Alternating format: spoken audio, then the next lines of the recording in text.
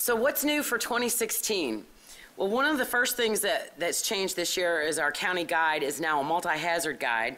And we've added four pages to address things beyond hurricanes um, and new technology that didn't exist back in 2004, such as smartphones. We now have a new notification system also branded Alert Pinellas, which is more robust and capable than our previous system. So in the guide, um, besides the technology, trying to focus people on uh, technology, the guide's trying to focus people on basic steps to prepare for any hazard. Um, and, and this is what you'll see, or they'll see in the guide when they open it up, these five steps to prepare for all hazards, to get them to focus on these basic steps um, with the various tools that we provide via web pages, our notification system, and the guide itself.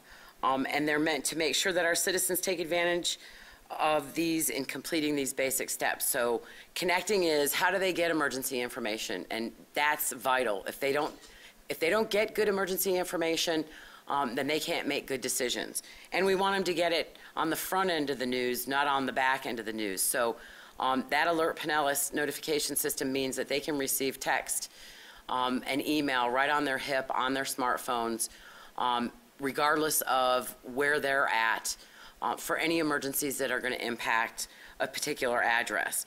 We want them to build a survival kit with the things that they'll need to survive for the various hazards that they're going to read about in the guide. We want them to assess their risk from storms specifically, but other uh, vulnerabilities that they have here in Pinellas County, and those tools are readily available to them. And we want them to plan for where they'll go and what they'll do during an emergency. So we're, we're calling it um, Do I Stay or Do I Go? Because depending on where they live in the county, they may have both options available to them, especially when we're talking about a hurricane. And then lastly, planning for recovery after an event takes place and how to stay safe um, and take care of themselves during a recovery event. So I mentioned Alert Pinellas. This is our new emergency notification system for citizens. Um, we encourage them to sign up for as many addresses as they want to track events for. Um, so they can sign up with their home address, they can sign up with their work address, and if they've got children in school, they can sign up um, for their children's uh, school address. So whether it's a localized event that's impacting that address, or it's a large event like a countywide hurricane evacuation, um, this is going to be our tool of choice to be able to make sure that citizens are getting the, the information immediately. It has some nice benefits to it also. If they check the box when they register to receive uh, weather warnings, then they'll be getting the National Weather Service's weather warnings directly at, right at the time that they're issued, again, through their, their cell phones. Another tool in our toolbox this year is Nextdoor, um, a social media site that's created for neighborhoods. Anybody can start a Nextdoor site in their neighborhood if it doesn't exist. And as public safety um, entities, we are able to get accounts so that we can actually push information to those social media neighborhood sites. Um, and that proved to be very useful for us in the summer months when we had flooding um, in a, one localized area of the county. We were able to use their Nextdoor site in order to get good information out to that community. So we encourage you to check out Nextdoor and see if, uh, if the neighborhood already has a site or begin one for your neighborhood. So staying connected, again, we're talking about how do we get people to stay tuned in to receive emergency information because knowledge is power and it's the best way for them to be able to make good decisions. So besides the Alert Pinellas I've mentioned, our social media sites are going to be heavily used. So for social media users, please sign up to um, our Facebook or Twitter site. We still like the older technology of the NOAA Weather Alert radios um, because they go off in the middle of the night when you may not be paying attention to a cell phone. Um, a new tool that folks are hopefully getting familiar with are the wireless emergency alerts. That's also text messaging to cell phones, and people will probably recognize that most for getting Amber Alerts. So if you get an Amber Alert on your cell phone now, then you're getting wireless emergency alert service. Um, and we have the capability to utilize that as well to get messages out. Then there's always our Citizens Information Center once we're open, um, and our website um, has a ton of information on it.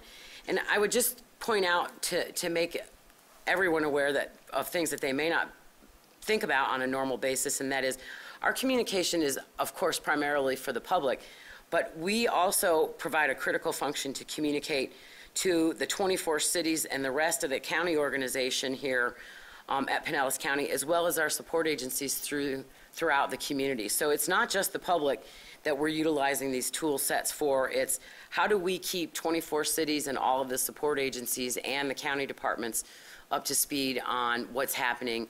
Um, And again, it's through these multiple tools that we've uh, built out for ourselves.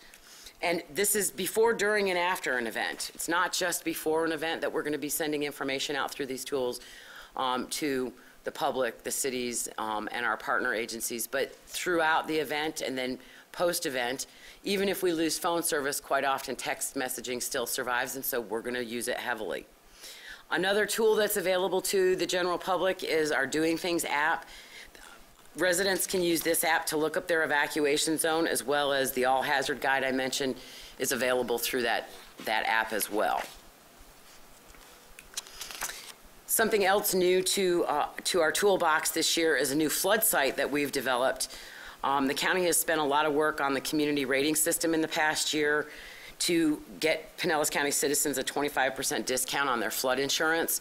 So we developed an entirely new um, flood site that folks can go to at this link, and from there, they can access our other tools for know your, knowing your evacuation zone and determining what the storm surge vulnerability is um, for your location. So we thoroughly encourage citizens to take advantage of those web tools.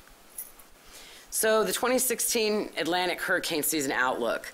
Um, They're saying it's going to be nearly a normal year. Um, I would add to this, this is a, going to be a no El Nino year this year. So one of our advantages last year was El Nino was here and steered a lot of those storms out into the Atlantic and away from us. We're not going to have the benefit of that this year. So to say that we're going to have a near normal year um, means that 10 to 16 named storms, we have the opportunity for just one storm, or we have the opportunity for many storms. Um, But it doesn't change the equation that it only takes one, and we're only asking our citizens to prepare for just that one storm. So future efforts that we're going to be working on throughout the hurricane season this year is, again, back to technology-based, um, developing a decision support type of application for citizens to use that, whether they're planning with it ahead of time or whether they're visiting the county and they didn't have a plan ahead of time, or whether they waited till the last minute to decide to get a plan, um, the idea of this app is going to be to give something to them at their fingertips that they, that will walk them through the decision-making process, the things that the guide already does for them. Five steps to prepare, how do you stay tuned in, what do you need to know, what are your vulnerabilities, and then you come out the other end of it with a decision um, on, do I stay or do I go?